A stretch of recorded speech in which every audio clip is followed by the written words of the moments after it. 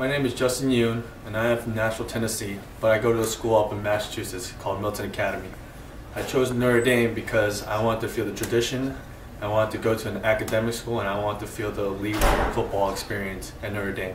I am a Shamrock soldier. Justin uh, went to Milton Academy in uh, just south of Boston. to boarding school and uh, has very similar academic uh, rigors on the high school level as University of Notre Dame, um, and it's prepared him well on that level.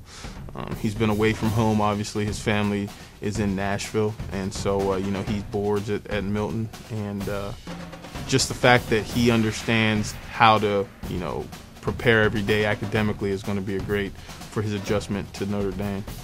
Accuracy and his leg strength. We actually were fortunate enough to have Justin not only see him on film, but also see him live at our uh, specialist camp in June, and uh, he did a great job as far as his, his like I said, his accuracy and his, his leg strength.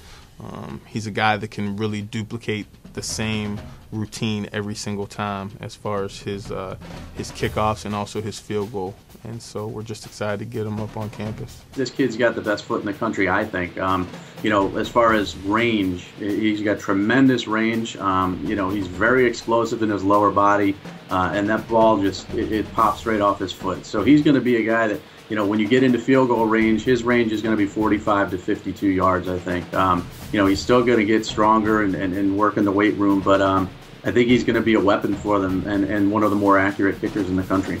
Not a whole lot of kickers nationally getting any publicity, but he got a lot out the East. Precision kicker, uh, you know, I think from 45 yards on in, he's automatic. He's automatic on the extra points, and any team could use that. So I do think that Justin Yoon is going to be a guy that Notre Dame's going to love Notre Dame fans will love over the next four years with his precision kicking.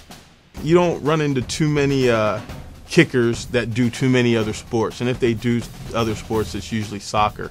But Justin's second sport is uh, hockey, and uh, obviously, you know, hockey is big in the prep schools out there on the East Coast. But uh, but Justin was big into hockey, and his father actually uh, was a world-class figure skater. And so, uh, those are some interesting things that you may not know about Justin Yoon.